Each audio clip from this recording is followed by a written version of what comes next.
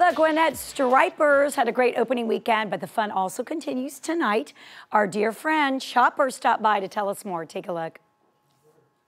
Chopper, what is up with you? Did you have a fun opening day weekend? Yeah, you're tired, aren't you? You ran around, you're exhausted.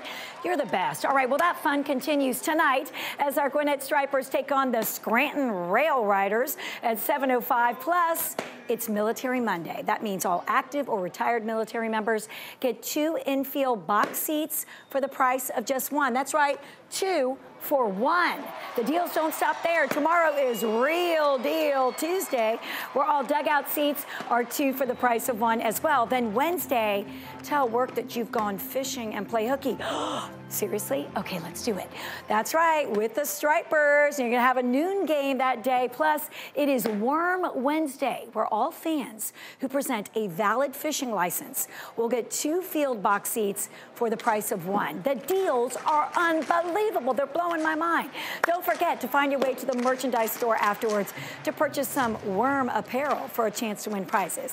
Now, for tickets and more information about all of these fun happenings, head to GoStripers.com. Hold on, let's reel them in. Let's reel them in. There we go, like that. That's right. I'm fly fishing, actually. That's that. Fly fishing. Oh. God, I love that chopper.